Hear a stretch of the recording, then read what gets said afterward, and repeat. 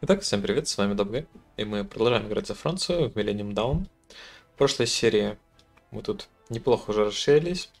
В этой серии мы планируем вмешаться в войну России с Китаем. Я планирую, на самом деле, напасть на Китай. У нас здесь есть неплохая база здесь. Здесь нам надо будет на острова немножко повысаживаться. Ну и отсюда с юга, наверное, начать наступление. Я долго думал, кого поддержать, но я понял, что, в принципе, нападать на Россию было бы так себе, по той причине, что Китай так побеждает. Стоит нападать на того, кто побеждает, а не на того, кто проигрывает.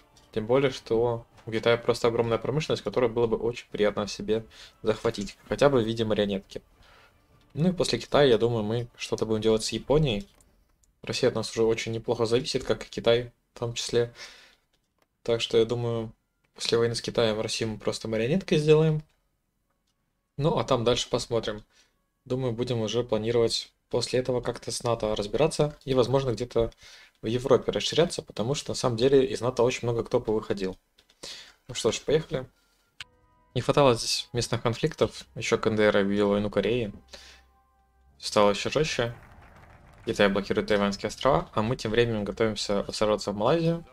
По той простой причине, что Филиппины, которые я взял в Альянс, воюют сейчас с Малайзией и с Тайванем. Собственно говоря, туда мы тоже сейчас высадимся, когда закончим с Малайзией.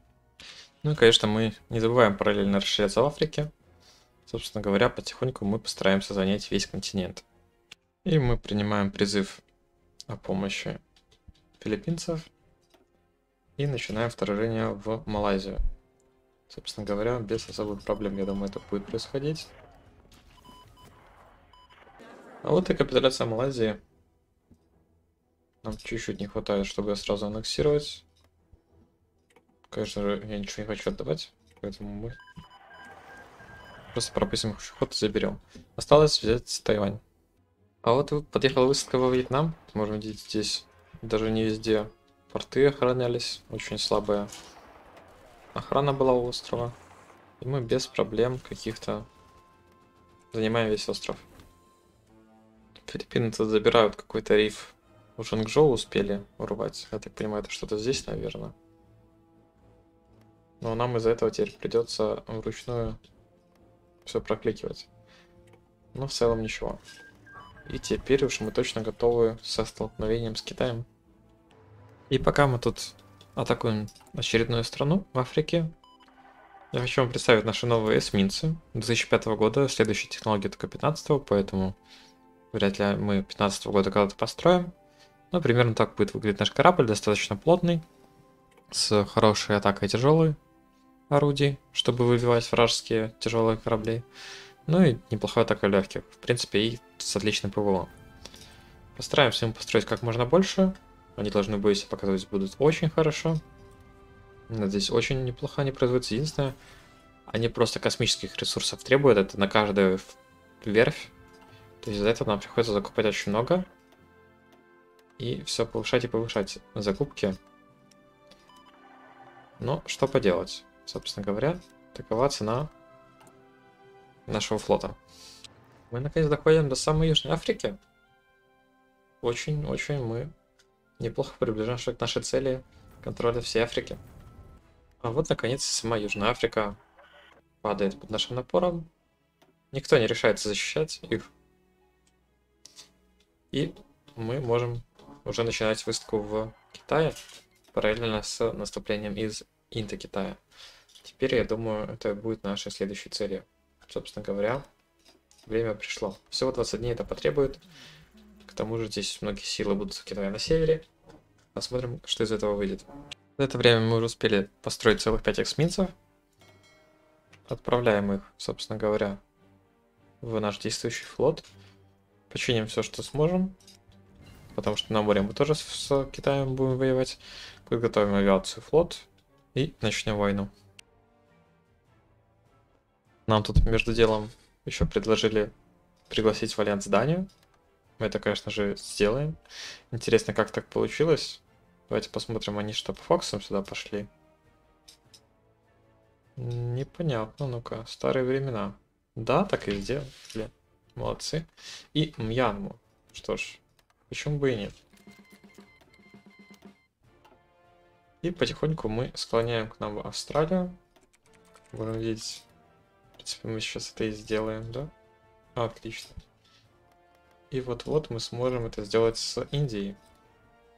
В России же наше влияние уже достаточно, но она пока в войне. Так, наш флот на позициях, собственно говоря. Будем мы только эти два региона пока что контролировать. Посмотрим, может дальше пройдем. Наша армия на позициях. Вторжение тоже готово. Поэтому мы можем начинать. Самое главное, у нас здесь очень много авиации на позициях.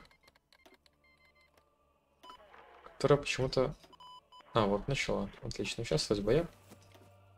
Сметаем мы просто эти единичные элементы китайской армии.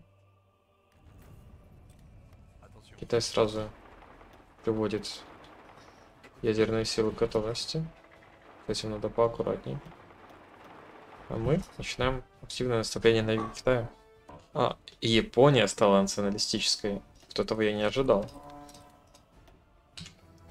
Что поделать? Берем мы Японию в наш альянс. Есть кто-то еще? Да. О, это интересный, конечно, клиент.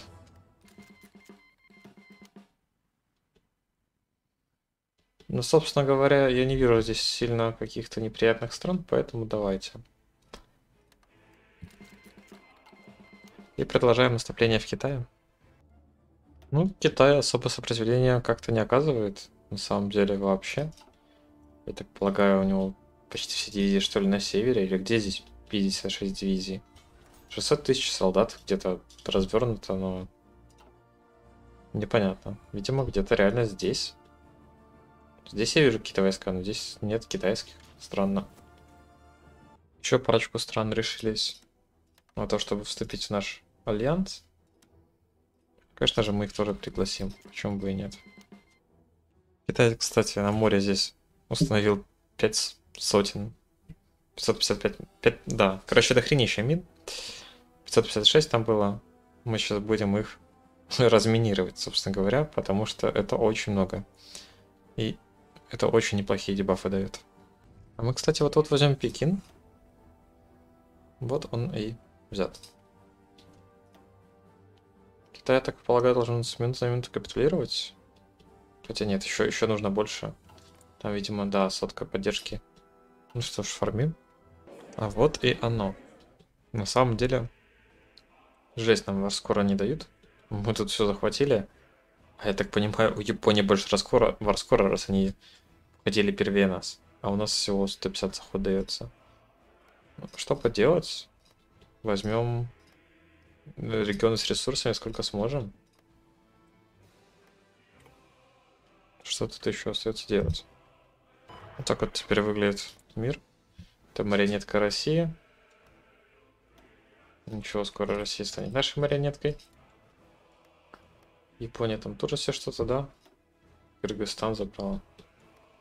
Ну, мы забрали очень много ресурсов, и я, в принципе, доволен. Плюс-минус тем, что как что получилось можем теперь думать, что нам делать с НАТО.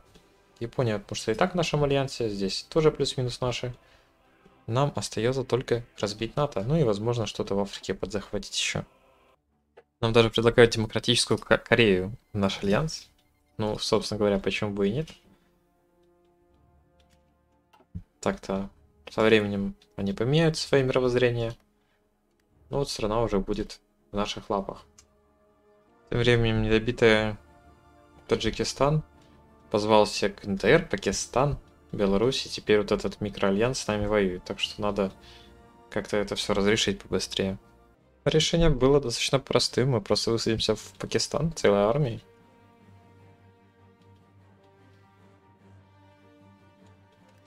И отсюда уже начнем наступление. Все, собственно говоря, очень просто. Могли мы наконец-таки марионетку сделать Индии. Пакистан мы высадились, успешно захватили. Но здесь, как так сказать, подкралось откуда не ждали. Украина и Беларусь наступает на Россию уже под Москвой практически. Надо теперь придумать как-то туда подвигаться, господи. Ну и что нам останется делать, кроме как готовить высадку из Африки в Одессу.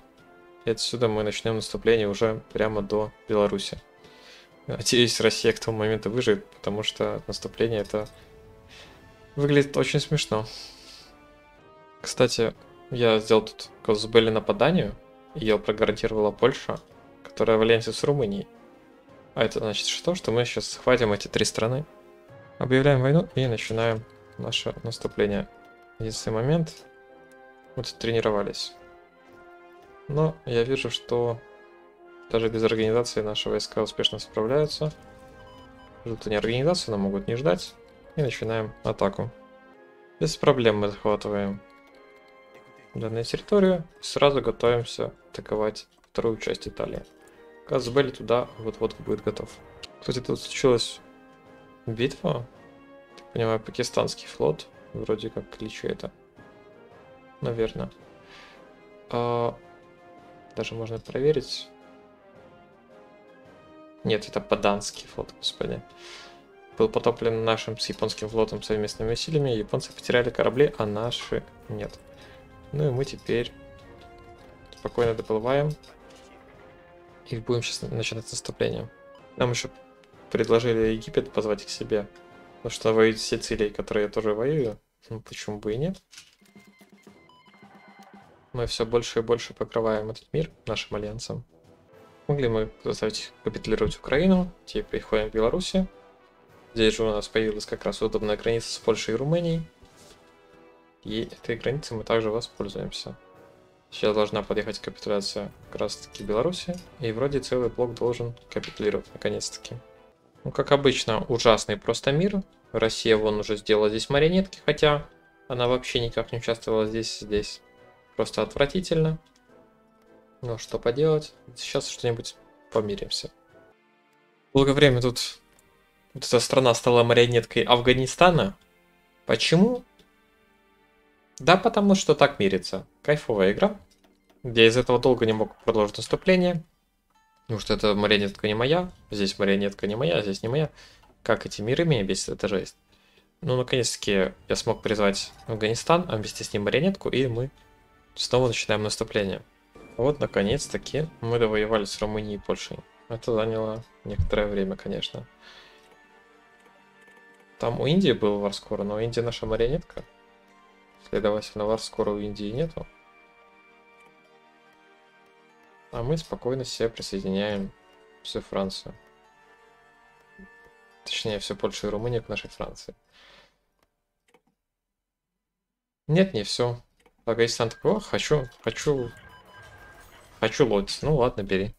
Итак, мы наконец-таки раз, разбили шанхайский блок. Да, это все еще были страны шанхайского блока, кроме, конечно, Польши и Румынии. Но их по пути тоже разбили. Франция тут уже потихоньку наш блок где-то четверть-треть занимает мира. И это число все будет увеличиваться. В следующей серии мы, я думаю, разобьем НАТО. Это последняя оставшаяся у нас какая-то угроза. Кроме НАТО здесь уже не осталось никаких сил. Они либо в нашем альянсе, либо нам подчиняются, либо вот-вот будут нам подчиняться. Так что я думаю, на этом серию пора заканчивать. А с вами был Добгей. Подписывайтесь на канал, ставьте лайки, оставляйте комментарии. Все как обычно. До скорых встреч. Пока.